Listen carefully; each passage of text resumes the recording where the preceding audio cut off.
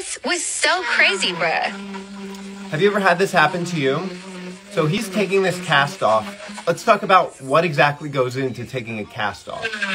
He's doing a technique called a bivalve technique, where he's making cuts on both sides of the cast. I had it on for seven months.